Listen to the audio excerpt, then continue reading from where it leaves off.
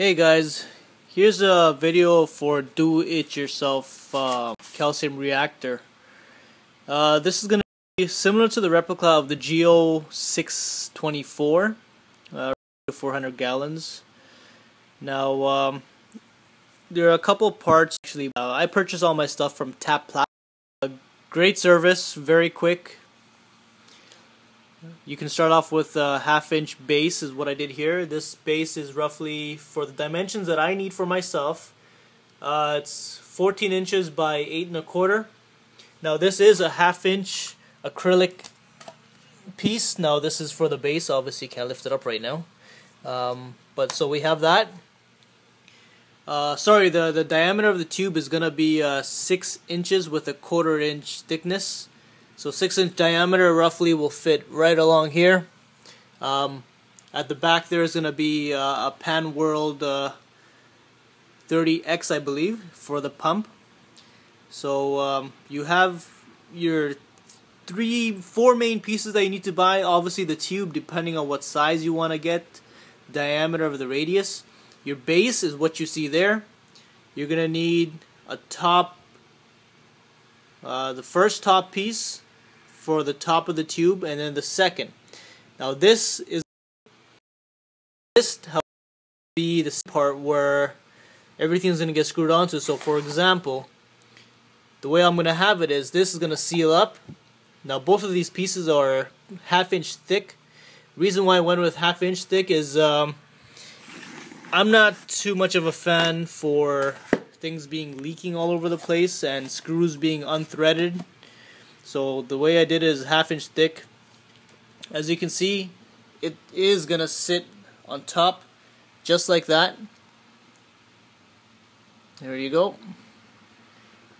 Hopefully I'm gonna have a, a O-ring inside of somehow inside of this piece where I'm gonna have to seal it in so water doesn't leak out. So there you go, one clear, one orange piece. Just decided to do something a little bit fancy here. Now for inside the tube, what I'm doing here is this is what the gravel is going to sit on. If you reverse it, obviously it's, it's being dried right now. Uh, one quick uh, advice I want to offer you guys is um, when you are cutting or sanding out pieces such as this, now my cuts are not 100% straight. Reason why is I don't have the proper tools at home. But um, overall, you do see the shine and the gloss on it. Now the the way I got that done was um, a little propane propane tank. So you adjust the flame so it's one inch from the nozzle up, and then you just kind of gradually play along with it and uh, just kind of burn the burn the plastic. You're kind of melting it to have a uniform side to it. I mean, it does leave a much more professional finishing than just having your regular sanded side. Now this here was two quarter inch pieces.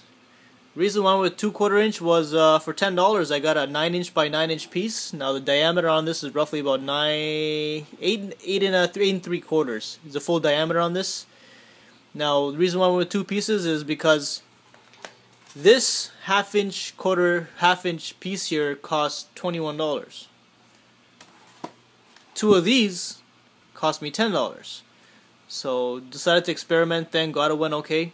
Um, from Tap Plastics you can also buy cement. It's an acrylic cement.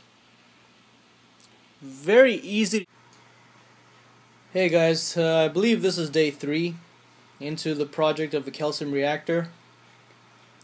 So I am roughly 99.8% done. All that's left over now is adding push valve to one of the inlets. I gotta on the pipe. I gotta find out exactly where I want the CO2 gas to be released into the the reaction chamber.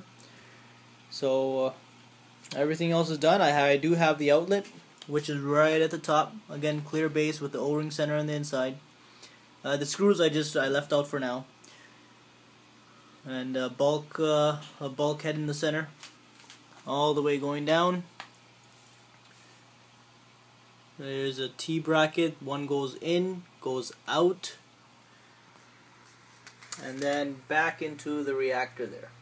I ignore that bio pellets that are inside of it. I just left it in so my dog doesn't take it. So uh, roughly the reactor is running uh, about 29.5 inches high. The base is set at 8.75 width. Length is 14 inches on it. I am running a Panworld XP30 on it. The whole pipe is all three quarters of an inch. Now I did leave a little different uh, um, I left a little different intake for this reactor. I didn't want it just like any other reactor where you have to have a pump here, another pump in the tank. I'm trying to eliminate the pump purposes all, all on all of them. Now with this T-bracket, the way I have it here, the, the reactor is actually going to be sitting right beside of the tank. I have a half inch inlet here, a push connector, half inch to half inch. So I'm going to use, be using a half inch tubing on this. Now what's going to happen here is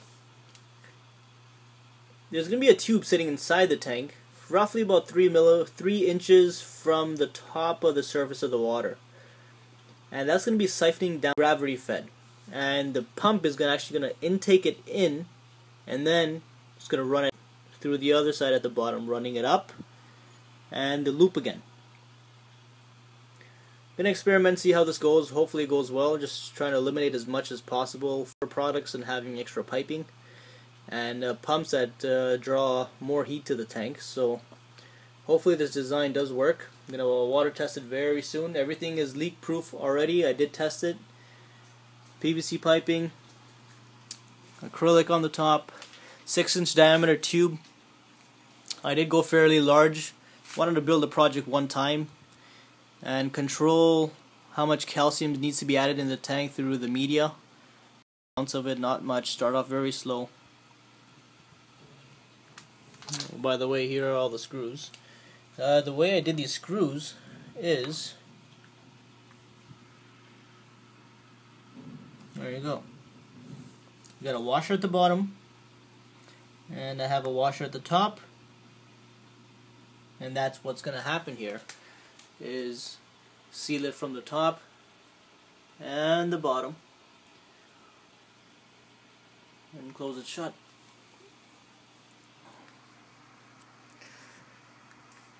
If you don't have the tools at home, talk to your local acrylic store or hardware store. Sometimes for a small fee they do cut it for you. Now all this was done at home with a jigsaw. That is possible. I did have a router, but uh, don't have a table router, which makes it very difficult to cut. So I kind of just went with a jigsaw. Propane torched the edge after sanding it three different levels from a 120 grit, 180 grit, and 1200 grit. There are some minor cuts that you could see in there, but nothing, nothing too drastic.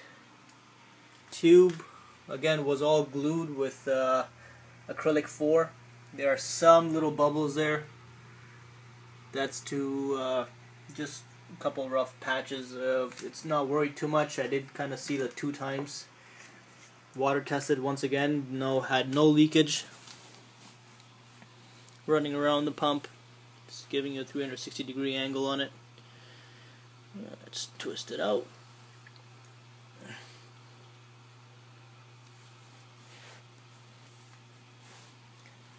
A word of advice whoever uses acrylic glue just be uh, be cautious about where you work. Have paper beneath it.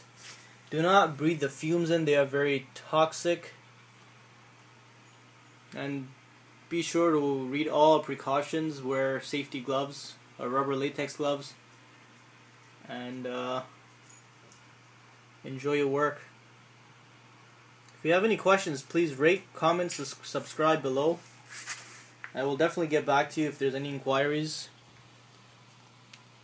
Now, I am having orders from my family and friends already on uh, making more, so hopefully in the near future I will make some more.